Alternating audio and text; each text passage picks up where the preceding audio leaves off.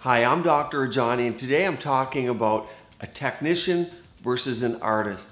The field of aesthetic medicine has grown, and even in the past two or three years, we have products we never had before. We can achieve results that we couldn't before because of the products, the technology, the application, and then we have to factor in the safety of what we use and where it comes from.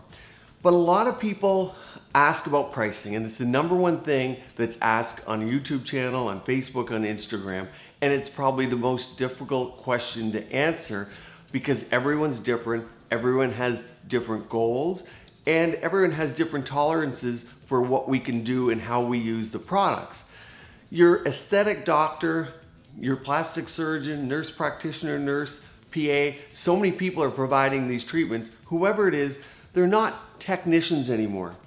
In 2003, when I started 2002, it was we were more of technicians because we only really had one product and that was collagen.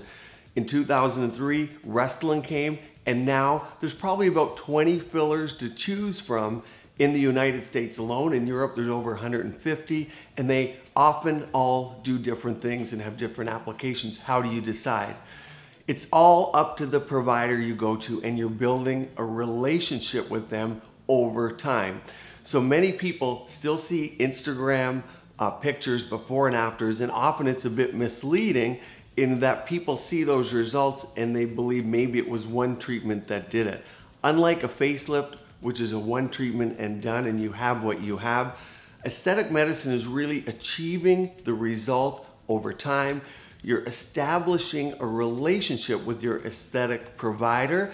And a lot of the treatments, the best treatments, aren't instantaneous. And we're in an Amazon society where everything has to come in two days. But the reality is, the best collagen stimulators, platelet rich fibrin, even the fillers work over time. And the reason is most people are looking two dimensionally and they want something filled here so they see it. But your provider's thinking, three-dimensionally and anticipating what results they're going to get with the product on each individual. It's very complex.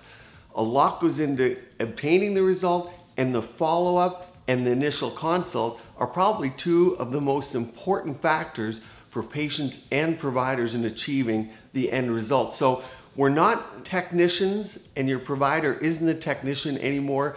They're really a medical artist, however you want to call it, it's a long-term treatment goal. Very rarely do people need one treatment, one kind of a, a, procedure, one thread lift, one filler. It's all those things together to create youth, beauty, angles, fresh looking healthy skin, and a great projection. So thanks for joining me today. Join me on this YouTube channel. Give us your comments below.